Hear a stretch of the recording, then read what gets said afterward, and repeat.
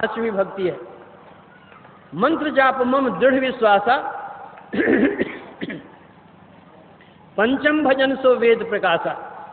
पांचवी भक्ति है। गुरु प्रदत्त मंत्र जो है, उसका जप करो। भगवान का नाम तो सब कोई लेते ही हैं, लेकिन गुरु प्रदत्त मंत्र जो होता है, वो उत्तम होता है। एक गंधक होती है जो पंसारी की दुकान में मिलती है। एक गंधक होती है जो वैद्यराज की दुकान में मिलती है। पंसारी की दुकान की गंधक आप खाइए, शरीर में घाव हुआ है। वैद्यराज की दुकान से आप गंधक लीजिए तो घाव को आप, को वो गंधक छुड़ाएगी। क्या हुआ? पंसारी की दुकान की जो गंधक होती है, वह कच्ची गंधक होती है। वैद्यराज की दुकान की जो गंधक होती है, वह शोधी हुई गंधक होती है। उसी तरह जो संत सदगुरु जिन्होंने साधना करके तपा लिया है अपने को, मंत्र का भी शोधन कर लिया है उस शोधा हुआ मंत्र जो आप पाएँगे तो आपका भी मन शुद्ध हो जाएगा। जिस नाम का हम जप करते हैं, जिस इष्ट का नाम हम लेते हैं, उसका रूप भी हमारे सामने आता है। वो मानस जप और मानस ध्यान, यह पांचवी भक्ति में है। ये पाँच भक्ति तक स्थूल भक्ति है। अब छठ दम शील विरति बहु कर्मा, निरत निरंतर सज्जन धर्मा। अब छठी भक्ति यहाँ सूक्ष्म भक्ति है। दमशील इंद्रिय निग्रह का स्वभाव वाला बनो। हमारी दस इंद्रियाँ बाहर की हैं। इन इंद्रियों का जो दमन किया जाता है निग्रह किया जाता है, यह दम की साधना है और यह छठी भक्ति है। दस इंद्रियाँ, हमारे दोनों हाथों में ये दस अंगुलियाँ हैं।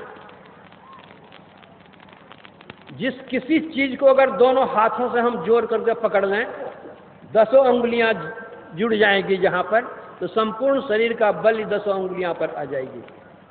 उसी तरह हमारी जो चेतन धारा दसों इंद्रियाँ में फैली हुई हैं, दृष्टि की दोनों धाराओं को मिला करके जो एक करेंगे तो सारी चेतन धाराएँ सिमट करके वहाँ पहुँच जाएगी, एकत्र हो जाएगी।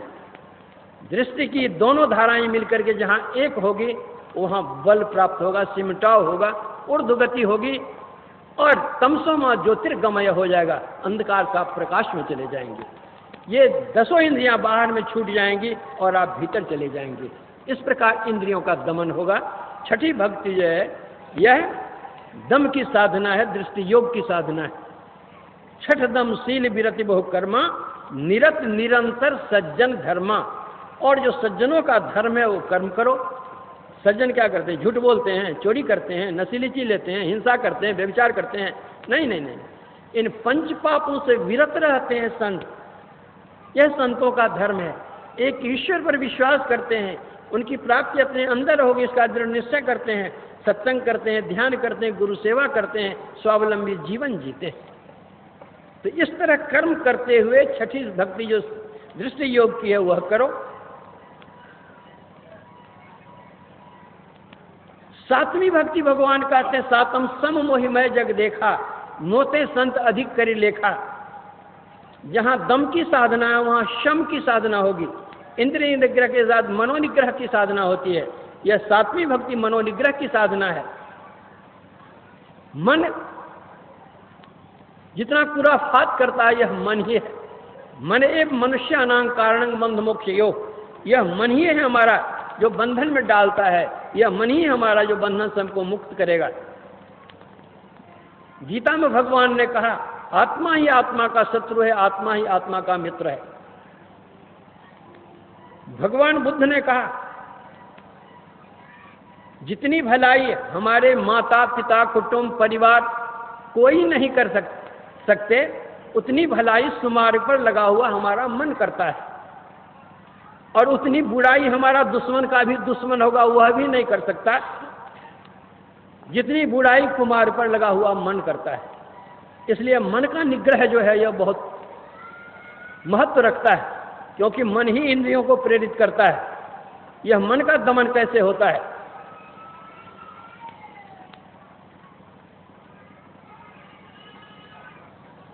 उपनिषद में आया है, भगवान श्री राम ने हनुमान जी को उपदेश दिया है मनोमत गजेंद्र से विषयोद्यानचारिण नियामन समर्थोयंग निनादो निशितांकुश।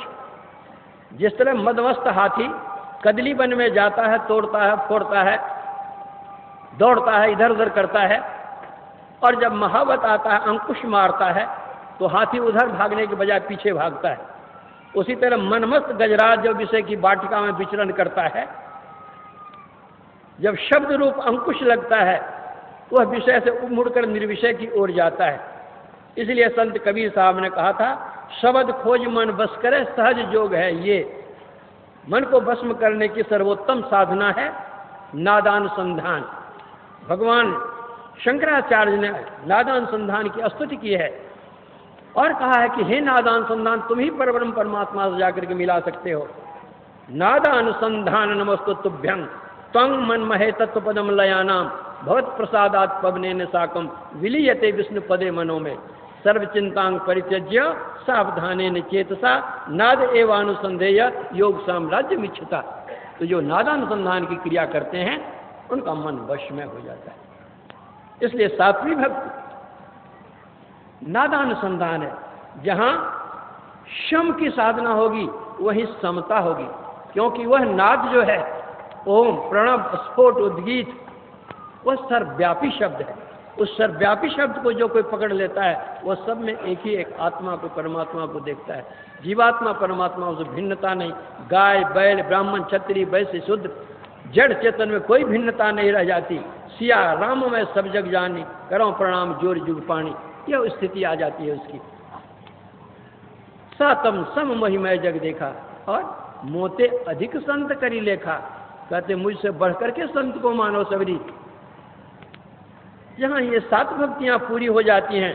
वहाँ आठवीं और नवी भक्ति, उसका फल स्वरूप हो जाता है। आठम जथा लाभ संतोषा। जो उसको मिल जाएगा, उसमें वो संतोष करेगा। सपना नहीं देखा ही पर दोषा वो दूसरे का दोष क्यों देखेगा?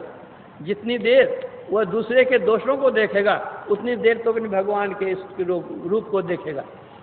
जितनी देर वह दूसरे की निंदा करेगा, उतनी देर तो भगवत चर्चा करेगा, भगवत गान करेगा, उसमें अपना समय बितावेगा। दूसरे की निंदा करने में अपना समय क्यों बितावेगा वह व्यर्थ का समय, अनमोल जीवन को व्यर्थ में क्यों बताए, बिताएगा वो? नवम सरल सब संचलहीना नौवीं भक्ति है, सबसे वह सरल हो जाएगा, छलहीन हो जाएगा, कपट किससे करेगा? सिया राम में सब जब एक ही देखेगा तो छल किससे करेगा, कपट किससे करेगा? और छल कपट करने वाला इधर जा ही नहीं सकता कभी। एक ईश्वर का भरोस करेगा वह हरस न देना, हर शोक से वो ऊपर उठ करके रहेगा। इसको प्रभु मिल गए, फिर बाकी क्या रह गया? हम लोग बाज़ार जाते हैं कपड़े वाले की दुकान पर बैठते हैं और पूछते हैं, इस कपड़े की कीमत कितनी है?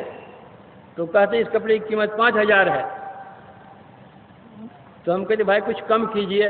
बोला, नहीं, हमारे यहाँ एक दाम है। अच्छा भाई। पाँच हज़ार उसको दे देते हैं। तो जो हमको कपड़ा देने लग जाता है तो एक प्लास्टिक के थैले में करके हमको कपड़ा दे देता है। तो मोल मुलाए तो जो हम कुछ करते हैं, उसे कपड़े की करते हैं। थैले की कीमत तो नहीं मांग, मानते हैं हम। पूछते भी नहीं हैं। तो जैसे मोल मुलाई तो कपड़े की होती है और थैला मंगनी में मिल जाता है, उसी तरह जो ईश्वर की भक्ति करते हैं तो ईश्वर तो मिल जाते ही हैं और माया मंगनी में मिल जाती है। कोई कहे कि बनिया बड़ा चालाक होता है, थैला का भी दाम उसी कपड़े में जोड़कर पहले रख लेता है तो परमात्मा बनिया से कम नहीं है उससे बेसी बनिया है वो, सब जोड़ करके भक्ति में ही वो ले लेता है।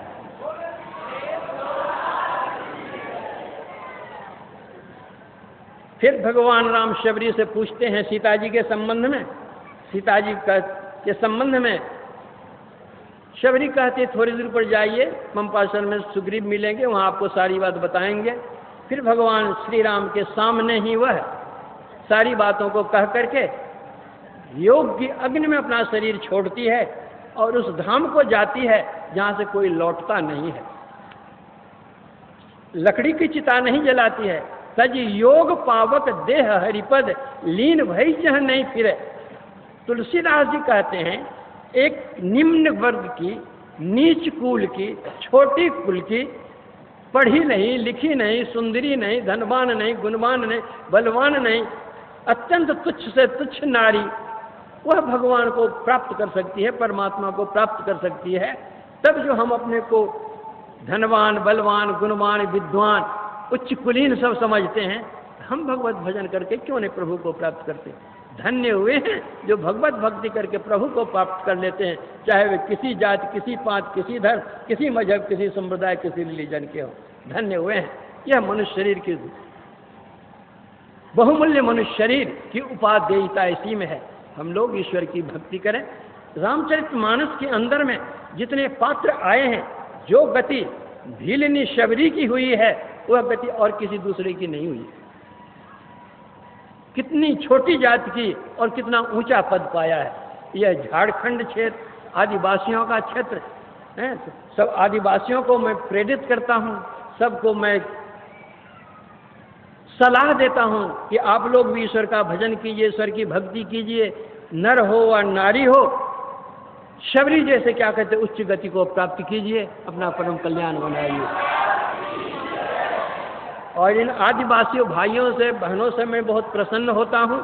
जब मैं यहाँ आता हूँ, ये लोग सत्संग में सम्मिलित होते हैं और बहुत से ये आदिवासी लोग सत्संगी हो गए हैं, सत्संगीन हो गए हैं, ये लोग माद, मजरा, अंडा, शराब सब छोड़ करके सब अपना काम रोज़गार जो वह करते हैं और भगवत भजन करते हैं। इससे यह लोग भी इनका सुधरेगा, पर लोग भी सुधरेगा, दोनों कल्याण में होगा। जितने झारखंड के हैं, सबसे मैं आग्रह करूँगा कि सबको ईश्वर के भक्त बने। जो कोई ईश्वर के भक्त बनेंगे, आध्यात्मिकता को अपनाएँगे, वे सदाचारिता को पालन करेंगे। सदाचारी जहाँ के लोग होंगे, वहाँ की सामाजिक नीति अच्छी होगी और जहाँ की सामाजिक नीति अच्छी होगी, वहाँ की राजनीति बुरी हो ही नहीं सकती है। अच्छी से अच्छी यहाँ की राजनीति हो। मरांडी साहब बहुत अच्छे हैं, बहुत अच्छे हैं, सुशील हैं, सज्जन हैं, विद्वान हैं, विनयशील हैं और लोकप्रिय नेता हैं। उनके लिए भी मेरी शुभकामना है और झारखंड में जितने हैं सबके लिए मेरी शुभकामना है। जो दूर दूर से आए हैं सबके लिए मेरी शुभकामना है। इस पवित्र सत्संग का आयोजन जिन्होंने किया है, उनके लिए भी मेरी शुभकामना है। इस काम में जिन्होंने तन, मन, धन, वचन कुछ भी लगाया है, किसी प्रकार का सहयोग किया है, बहुत बड़ा पावन कार्य किया है, उन सब के लिए मेरी शुभकामना है। और अंत में मेरा आशीर्वाद है। जो मुझसे कोई बड़े होंगे, उनके लिए मेरा प्रणाम है। और जो कनिष्ठ मुझसे आशीर्वाद लेने के योग्य होंगे, उनका मैं आशीर्वाद करता हूँ। और सबके लिए मेरा धन्यवाद है।